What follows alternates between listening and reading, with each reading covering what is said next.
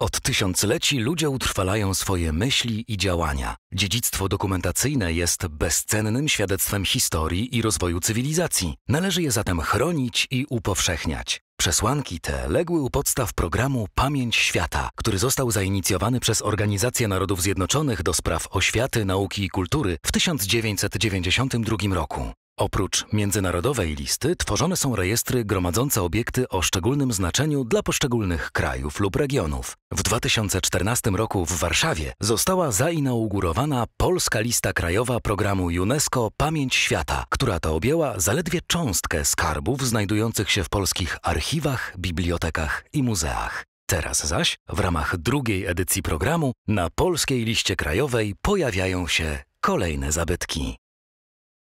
Pamięć Polski, pamięć świata.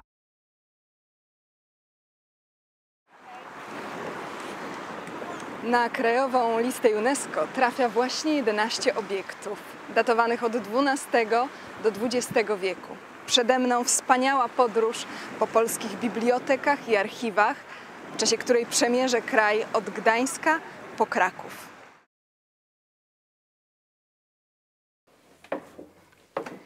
Zaczynam od Biblioteki Gdańskiej Polskiej Akademii Nauk.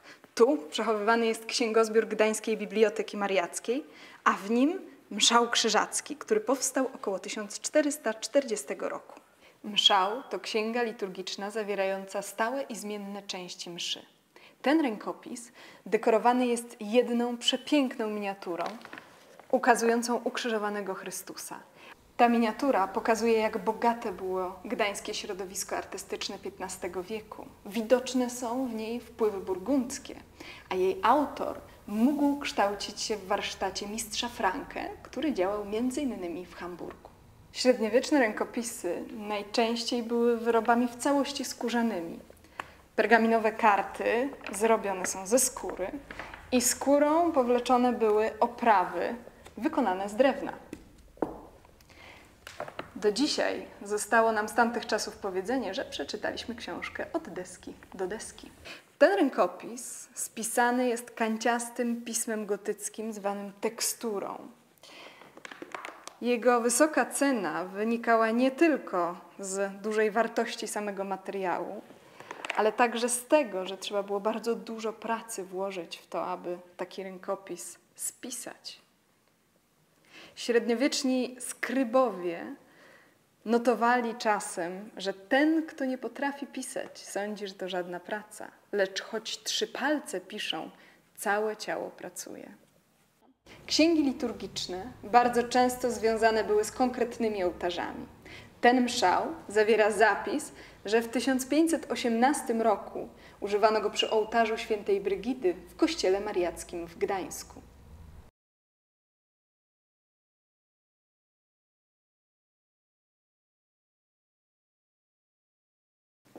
Jestem w Archiwum Państwowym w Toruniu. Ten piękny dokument to akt erekcyjny Związku Pruskiego z 1440 roku. Związek zawiązali przedstawiciele mieszczaństwa i rycerstwa pruskiego w obronie przeciwko uciskowi ze strony zakonu krzyżackiego. Oczywiście krzyżacy robili wszystko, żeby ten związek zdelegalizować. Nawet uzyskali odpowiedni wyrok od cesarza Fryderyka III Habsburga. Przedstawiciele związku nie dali się jednak złamać. Zwrócili się o pomoc do króla polskiego. Efektem była wojna trzynastoletnia, w wyniku której potęga zakonu krzyżackiego została złamana, a Polska przejęła Pomorze z Gdańskiem, Elblągiem i Toruniem. Ten dokument spisany jest kursywą, czyli pismem pospiesznym, powszechnie stosowanym w późnogotyckich kancelariach. Zachowały się 44 pieczęcie, chociaż oryginalnie było ich prawie dwa razy więcej 19 pieczęci miejskich i 53 pieczęcie rycerskie.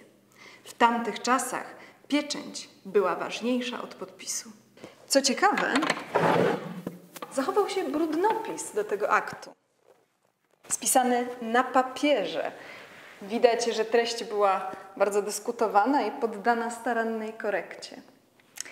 Ja ruszam dalej, a następny, czekający na mnie dokument, będzie znacznie starszy.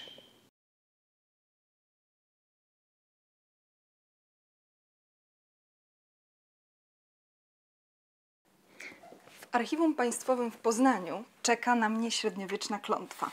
Tu w tej szufladzie znajduje się akt fundacyjny klasztoru cysterskiego w Łeknie z roku 1153.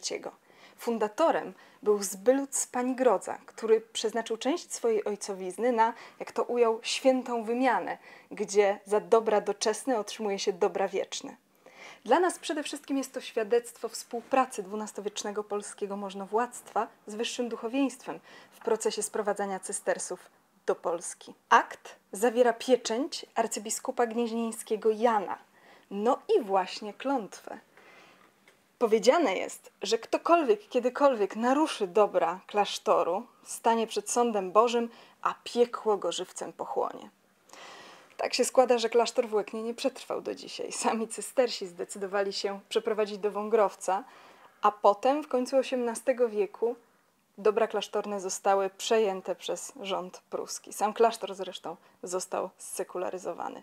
Więc jeśli ta klątwa rzeczywiście działa, to ktoś się chyba smaży w piekle. No bo jakby nie było, chociaż po kilkuset latach, ale dobra klasztoru zostały naruszone.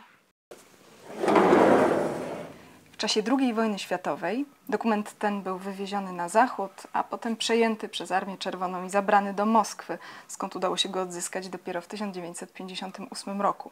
Archiwiści mawiają, że ten zabytek jest dowodem na kulistość ziemi, ponieważ wywieziony na zachód wrócił ze wschodu.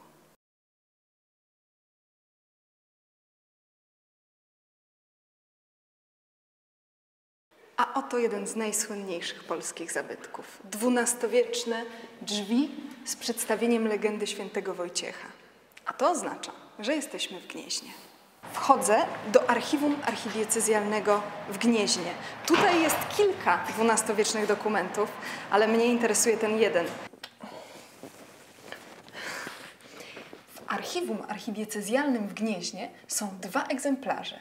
Ten mniejszy to oryginał, taki sam jak ten w Poznaniu. I tak jak ten w Poznaniu miał kiedyś pieczęć, niestety w tym wypadku pieczęć się nie zachowała. Ten większy egzemplarz to kopia, nieco młodsza, ale niewiele, datowana na koniec XII wieku. Większa, reprezentacyjna i zawiera kilka linijek tekstu, którego nie ma w tym oryginale, ponieważ ta kopia jest zrobiona na podstawie egzemplarza poznańskiego.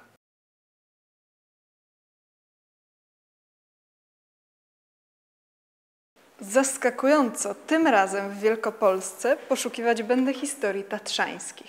Jestem w Kurniku. Właścicielem tych dóbr z końcem XIX wieku był Władysław Zamoński, hrabia, społecznik, jedna z kluczowych postaci w sporze o morskie oko.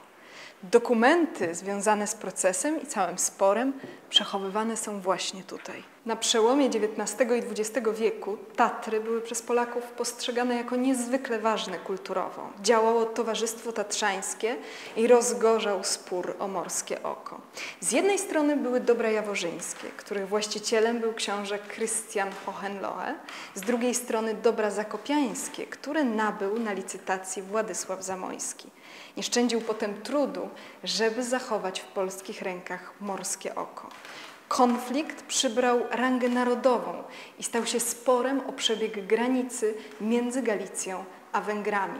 Dopiero w 1902 roku Międzynarodowy Trybunał przyznał sporne tereny Galicji, czyli Zamojski wygrał. I dzięki temu granica dzisiejsza między Polską a Słowacją ma taki, a nie inny przebieg.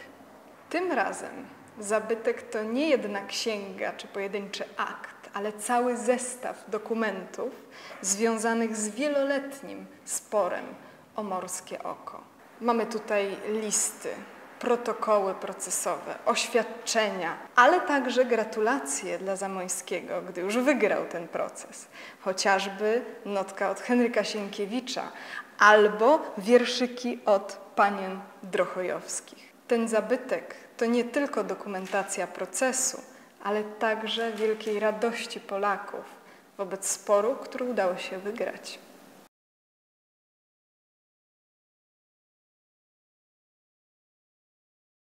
Dotarłam do Biblioteki Narodowej w Warszawie. Tutejsza, starannie przechowywana kolekcja zawiera wiele najwspanialszych polskich zabytków. Mnie dziś interesuje rocznik świętokrzyski dawny. W Bibliotece Narodowej w Warszawie przechowywane są największe polskie skarby. Także rocznik świętokrzyski dawny. Wydawać by się mogło, że coś, co się tak nazywa, to będzie gruba księga, być może pochodząca z województwa świętokrzyskiego, ale nie. To tylko trzy strony, dopisane na końcu wcześniejszego starszego rękopisu z przełomu XI i XII wieku. Ta myląca nazwa świętokrzyski wiąże się z tym, że w XV wieku rękopis przechowywany był w opactwie Świętego Krzyża. Ale te dopiski powstały najprawdopodobniej w Krakowie od około 1120 roku. Ostatni zapis jest przy roku 1136. To rocznik, mamy daty i przy niektórych z nich wydarzenia, ale najważniejsze dla nas to dwa zapisy o przybyciu Dąbrówki oraz o tym, że książę Mieszko przyjął chrzest.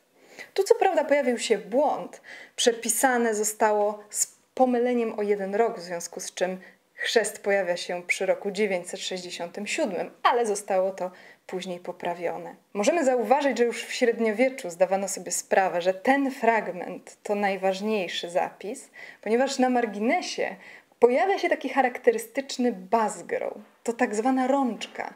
Rysunek, który bardzo często umieszczano na marginesach średniowiecznych rękopisów, aby zaznaczyć dla czytelnika najważniejszy fragment tekstu. Dziś cały ten rękopis ze wszystkimi detalami można obejrzeć w bardzo dobrej jakości online, ponieważ został on zdigitalizowany i jest dostępny w serwisie polona.pl.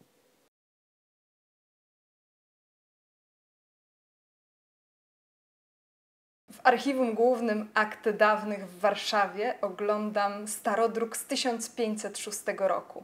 To tak zwany Statut Łaskiego. Starodruk dekorowany jest drzeworytami. Ten egzemplarz ma podkolorowane ilustracje, a dodatkowo przepiękne ręczne dekoracje zrobione na marginesach.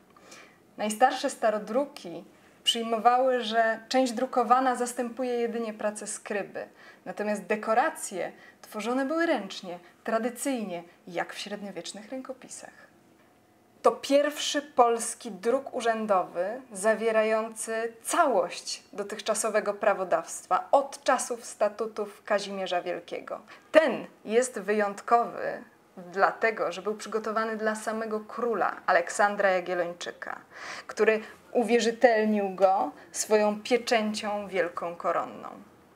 Dzięki tej pieczęci i sznurowi, który przechodzi przez całą księgę, nie można dodać do niej już żadnej karty. Inicjatywa stworzenia tej publikacji narodziła się na Sejmie w Radomiu w 1505 roku. Tam uchwalono także konstytucję Nihilnowi. Poniżej widnieje akapit, który mówi o tym, że wszelkie kolejne konstytucje, które zostaną uchwalone, jeśli mają mieć moc prawną, muszą zostać opublikowane.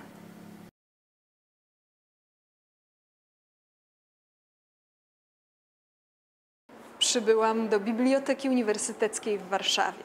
Ten budynek powstał u progu XXI wieku, ale tutejsze zbiory zawierają wiele znacznie starszych skarbów.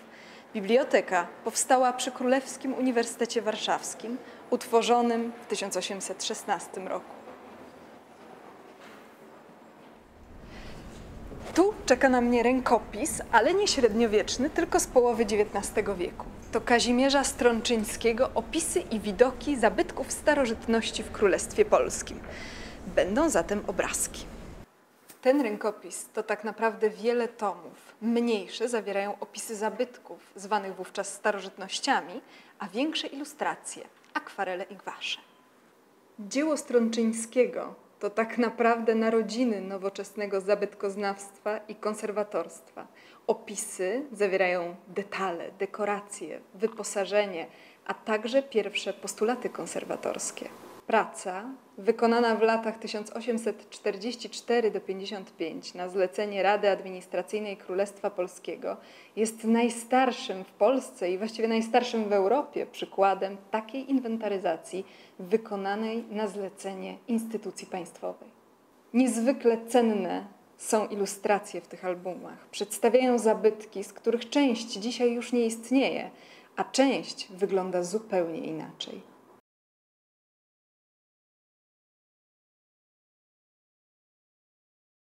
Jestem w pałacu Staszica, gdzie czeka na mnie najmłodszy ze wszystkich zabytków tej wyprawy.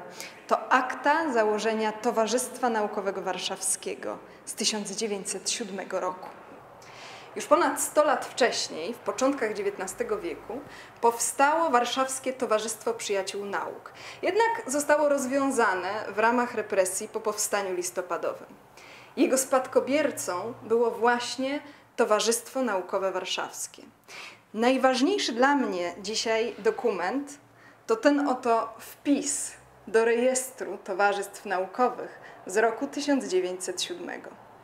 Ale są tu także inne akta, ręcznie pisane sprawozdania, jak chociażby sprawozdanie z historii utworzenia towarzystwa, listy członków założycieli, protokoły z posiedzeń, a nawet umowa o lokal umeblowany, użyczony towarzystwu przez profesora Ignacego Baranowskiego. Towarzystwo bowiem zaczynało swoją działalność w prywatnym mieszkaniu. Pierwszym prezesem Towarzystwa Naukowego Warszawskiego był Aleksander Jabłonowski. Wśród zgromadzonych tutaj dokumentów znajduje się także jego księga gratulacyjna.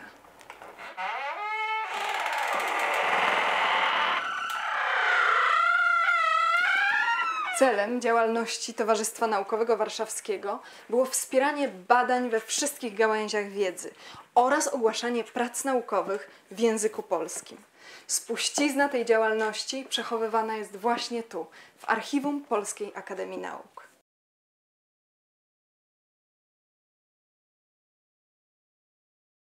Przybyłam do Krakowa i zaczynam od kluczowego miejsca. Jestem na Wawelu, w archiwum krakowskiej kapituły katedralnej. Tu przechowywany jest akt Unii Krewskiej z 1385 roku. Najczęściej uważa się, że złote czasy historii Polski to okres panowania Jagiellonów. Ten akt to w pewnym sensie moment, od którego wszystko się zaczęło. Tym dokumencie wielki książę litewski Jagiełło zadeklarował, że przyjmie chrzest. Zapadła decyzja o chrystianizacji Litwy. Jagiełło poślubić ma Jadwigę, zasiąść na polskim tronie. No i także zadeklarował, że wszystkie jego ziemie litewskie i ruskie zostaną przyłączone na zawsze do korony Królestwa Polskiego. To był jednak dopiero początek długiej drogi, której zwieńczeniem była Unia Lubelska w roku 1569. To dopiero wtedy powstała Rzeczpospolita Obojga Narodów. Ja mam swój ulubiony fragment tego dokumentu. I to jest krótka wzmianka o tym, że Jagiełło zapłacić ma 200 tysięcy florenów za zerwanie zaręczyn Jadwigi z austriackim księciem Wilhelmem Habsburgiem. Jadwiga ciężko przeżyła to zerwanie, bo Wilhelm Habsburg był jej po prostu bliższy. Podobno próbowała nawet wydostać się z Wawelu, wyrąbując sobie drogę toporem, aby uciec do księcia Wilhelma. Ale ostatecznie zwyciężyły względy polityczne i perspektywa chrystianizacji Litwy. Jadwiga została żoną Jagiełły. A Wilhelm Habsburg do końca nie dał za wygraną. Ożenił się dopiero, gdy dowiedział się, że Jadwiga umarła.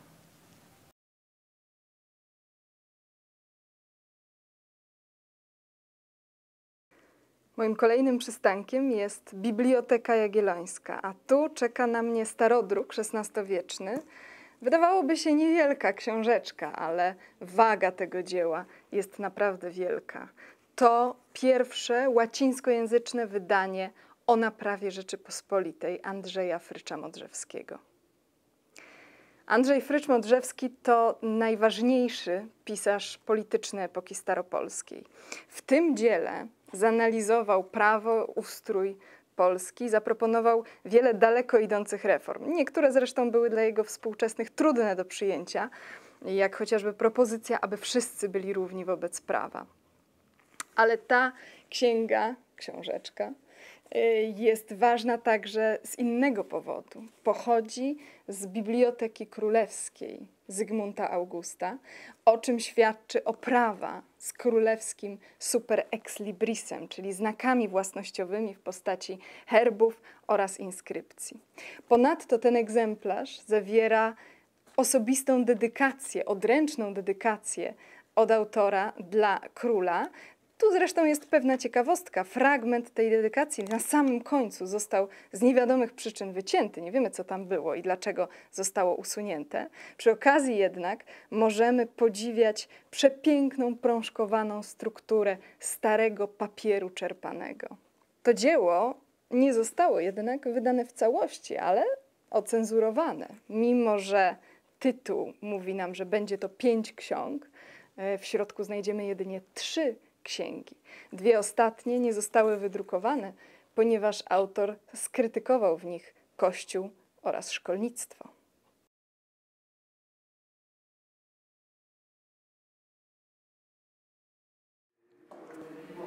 Na sam koniec mojej wyprawy przybyłam do biblioteki książąt czartoryskich. Bohaterem zatem będzie książę czartoryski. Książę Adam Jerzy Czartoryski to jedna z najważniejszych postaci wielkiej emigracji. Przywódca obozu arystokratyczno-konserwatywnego, dyplomata, ale także mecenas, poeta, pisarz. Tutaj przechowywanych jest wiele związanych z nim dokumentów, jego wiersze, jego wspomnienia, notatki, a także ten dzisiaj dla mnie najważniejszy testament polityczny księcia. Książę tworzył go przez wiele lat, ale podpisał na dzień przed swoją śmiercią, która nastąpiła 15 lipca 1861 roku. W swoim testamencie książę wyznaczył na spadkobiercę i kontynuatora swych działań swojego młodszego syna Władysława. To właśnie Władysław Czartoryski podjął później decyzję o przeniesieniu rodzinnej kolekcji do Krakowa, i tak powstało muzeum i biblioteka, w której w tej chwili się znajdujemy. Książę Czartoryski pozostawił motto dla przyszłych pokoleń. Siła rodzi się z jedności. Samotnego ściga nieszczęście.